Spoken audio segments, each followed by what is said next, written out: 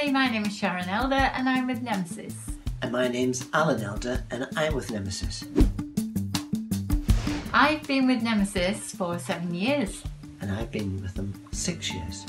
And the reason Alan joined was because I got a job doing the Doncaster Shopping Centre advert and I didn't want to drive there on my own, so he volunteered to take me. And I've enjoyed it ever since.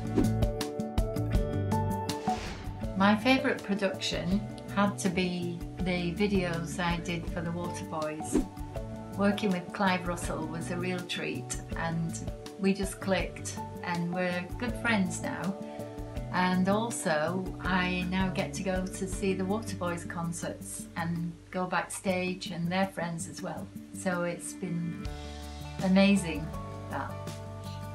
My favourite production was the TV commercial for WeBuyAnyCar.com on the sofa. Uh, that was amazing. Uh, we were seen all over the country.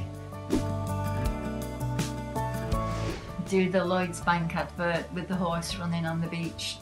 I'd love to be a part of that group of people amongst the horses and yeah. And I would like to be background on Death in Paradise. Yeah, that would be a good one. I think I was a little bit starstruck when I met Philip Jackson on Raised by Wolves.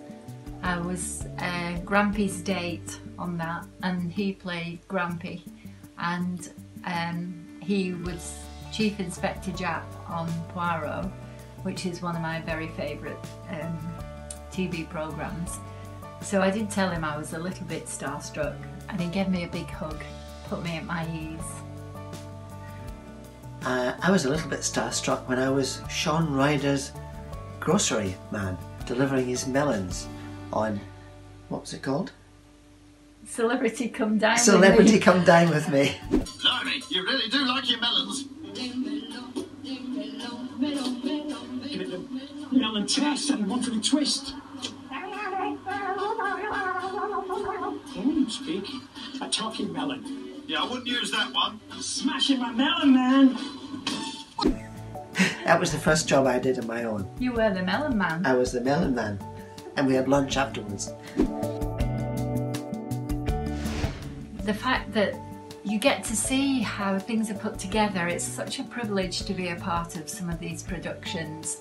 Meeting people that you would never normally meet and going to locations that you would never normally get to go and see. Uh, and just chatting with the other background artists.